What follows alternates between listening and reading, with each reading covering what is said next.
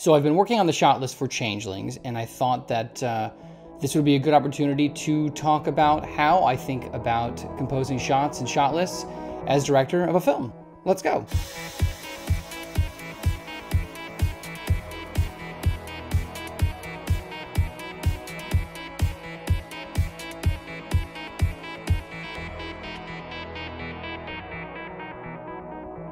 Hey everybody, thanks for coming back to Distant Signal and welcome to another video.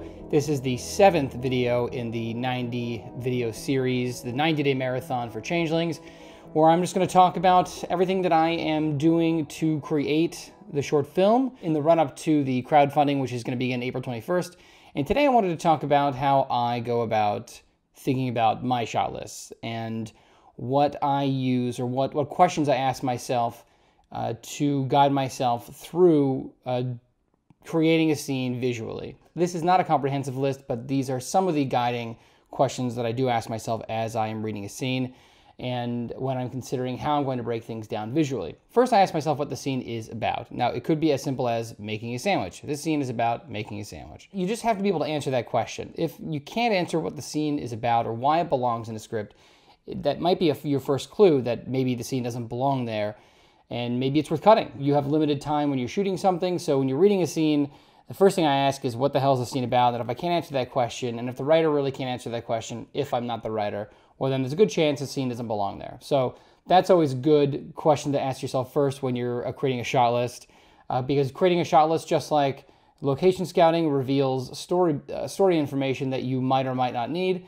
and it allows you to refine the direction that you're going with your stories. If I can determine what the scene's about, then I go about asking myself, whose scene is it? What I'm really asking myself is, who is driving the scene forward, and who or what is working against our character in the moment in that scene. Because as we know, story is drama, drama is story, so on and so forth. And then I ask myself, what information do I need to convey? What information needs to be conveyed for, you know, for this scene to work?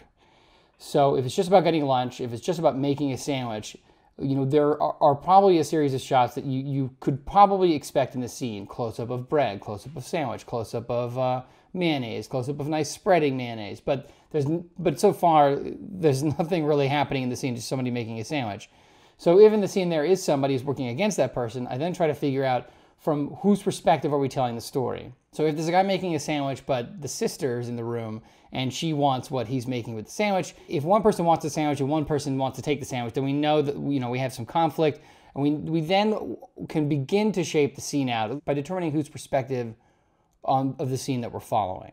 Uh, so if it's about a guy making a sandwich and he's starving, like literally starving. You know, if the if the main character is the guy making the sandwich and we're the one that you know he's the one that we're rooting for, then that's the perspective of the scene, at least in this particular scene.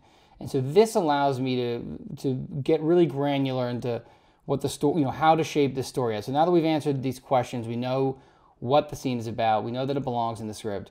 We know whose perspective it's from. We have a general idea that's sort of forming that we need some kind of coverage to at least have the basic amount of information necessary to know where we are, who's in the scene, what they're doing. So now that we've got this little scene taking shape, I then have to ask myself, how am I going to reveal all this information? Right. So now that we know all these things, who, what, when, where, why, effectively, and that we're able to convey that somewhat visually, or at least we have a, we have an idea. Like if it's in a kitchen, we we sort of know the constraints that are going to be placed on the scene. And after I've answered what information I need, I need, to convey in the scene, I can then begin to build the shot list. When I think about creating a shot list, and I've, after I've been able to answer all those questions, that allows me to think about how I'm going to reveal the necessary information in the scene. So that allows me to begin to be able to break down the scene into tiny little granular parts where I can build the scene up bigger by pieces. It's important to ask myself, what information am I going to be revealing from moment to moment? and how can I make the most impact with that with that revelation. So if the if what I want to reveal is that our main character is making a sandwich and that's what the scene is about, maybe I start on the close, close up of the sandwich. But maybe just maybe it isn't about that at all. Maybe the scene is really about how much the sister hates the brother. So maybe we start on her face, a close up of her looking, scowling at somebody, and then we cut to the sandwich. So then we know that she wants a sandwich, but we know that it's not her making the sandwich. So who's making the sandwich? cut to brother, right? Cut to his face. He's kind of got a smile on his face and he looks at the sister and she looks even more pissed and he makes a nice sandwich and then takes the sandwich, and then we cut to the garbage. Sandwich goes in the trash, and then we cut back to her. It only took a few shots to really get a sense that the brother is probably antagonizing the sister by making a sandwich and throwing it out and that his whole intention was to waste the food, you know, the whole time. The scene's really about a brother antagonizing his sister. I think you can see that as you think about how the scene will be constructed, changes the perspective of who the scene is about. And because you've changed the perspective, that changes the order and the nature of the shots as you come up with them. If it's just a wide shot, that's a, that that is another tactic you can take where you sort of treat a scene like a play and you really use blocking to tell the story visually.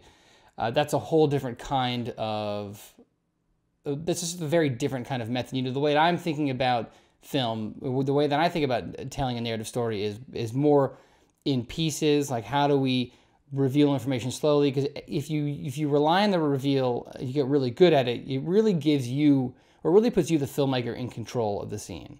The film is really dependent upon your perspective and how you are going to uh, just met out that little those little pieces of information in order to control the narrative. So by thinking about so so when I think about creating shot lists, I think about reveals because reveals allow me to control exactly what I want the audience to see and when and how.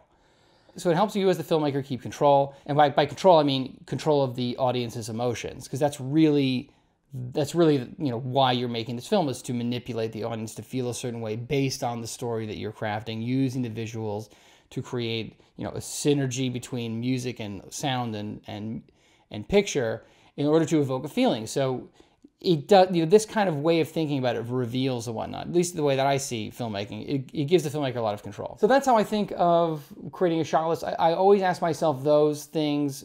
Uh, I always ask myself those questions, and that allows me to break the scene down in a way uh, that is that, that conveys information bit by bit because that's sort of how I like to do things. I don't like to use a lot of.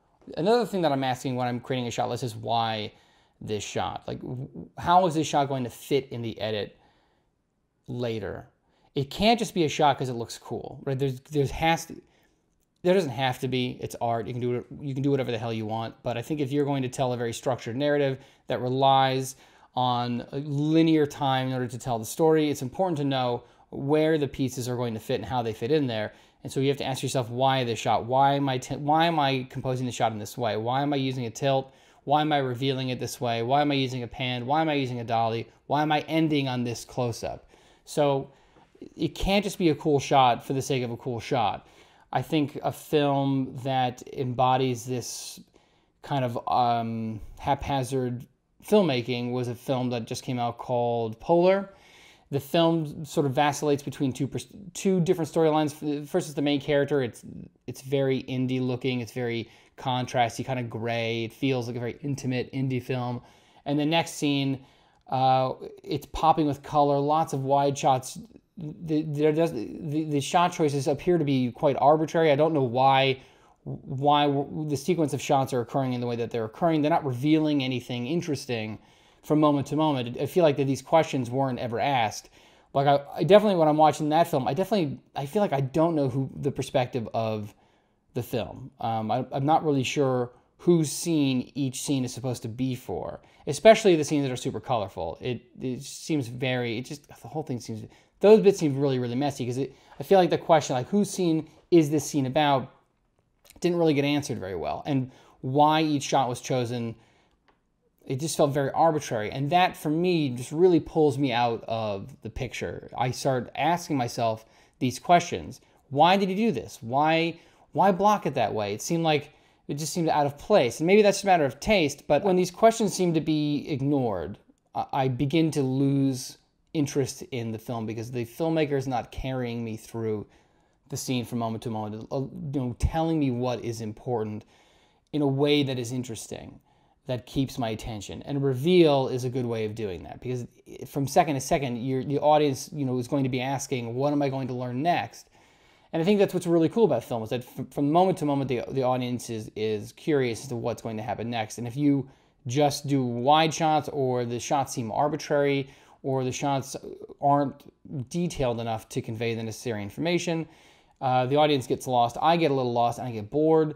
Obviously, you don't want to overdo it. I think um, you could you could go really crazy revealing information. Um, the, the, the technique that comes to mind is a lot of rapid cutting to reveal bits of very very very tiny chunks of information that can be really effective, but it, it, it, could it's it's a technique I think it has to be used quite sparingly because it's very jarring. When I think about creating shot lists, those are the questions that I ask myself, and I, I hope that you find this information helpful if you're constructing a scene and you're not really sure where to go with it or how to start, what shot to start with.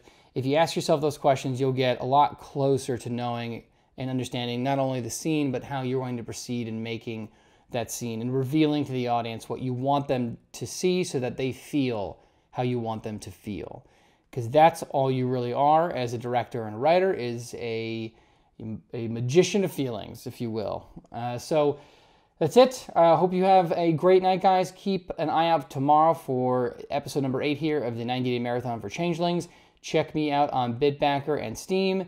You know, let me know if you're a director or if you're a writer. You know, let me know how you like to reveal information to your audience? Uh, do you find that these questions are, are, questions that you ask yourself? And uh, do you have any suggestions for me or for anybody who might have watched this video uh, to help make their scenes, uh, to, to help make their shot lists more effective and interesting? All right, guys, have a great night. Phil out. Thanks for watching. If you like what I do here, hit that subscribe button, find me on Steem, and support me on Bitbacker. For only $2 a month worth of Bitcoin or Bitcoin Cash, you'll get exclusive content, early access to everything I do, and access to my private Telegram channel where you can ask me any question you like about the process of making changelings with cryptocurrency. All right, see you there.